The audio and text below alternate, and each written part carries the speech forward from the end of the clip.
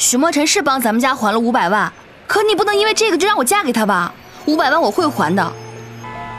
那五百万不是许墨尘，是丁文笑替你们还的。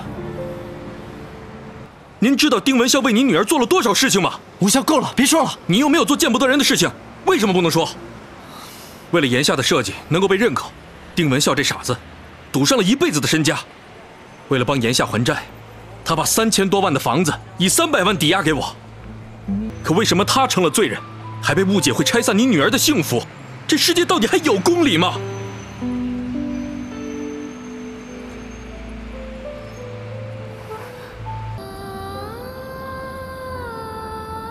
文潇，你失去了一切，也失去了我。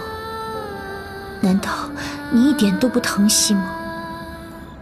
炎夏对你而言，只是个过客。这里不是你的归属。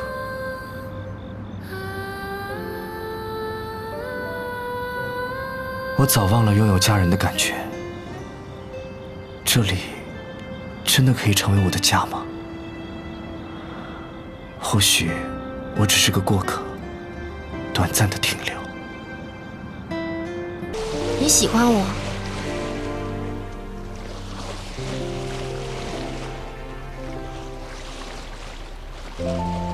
怎么说的？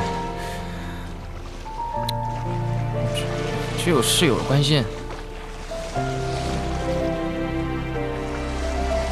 只是室友的关心。对。只是室友的关心，就这样。嗯，就这样。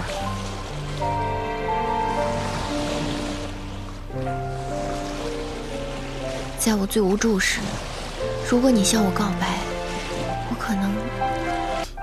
那个，你就把我当你妈啊！以后想吃什么你就跟我说，只要我能做到的，我就一定做。谢谢阿姨。哎呦，一家人不说客气话。哎呀，文笑啊，多吃点啊，别拘束。好。这一桌子的家常菜，是早已被我遗忘的那种熟悉的味道。这就是家人的感觉。丁总，来吃菜。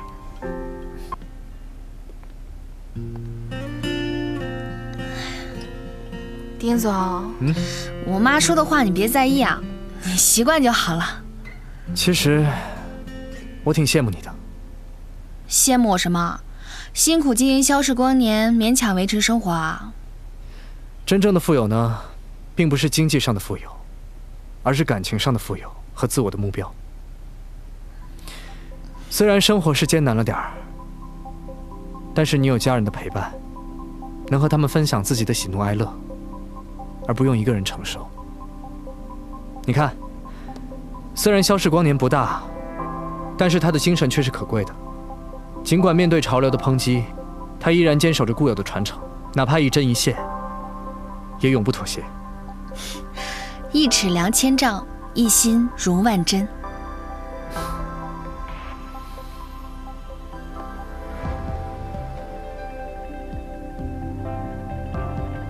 在这一刻，我终于寻找到自己的目标。那就是永不消逝的光年。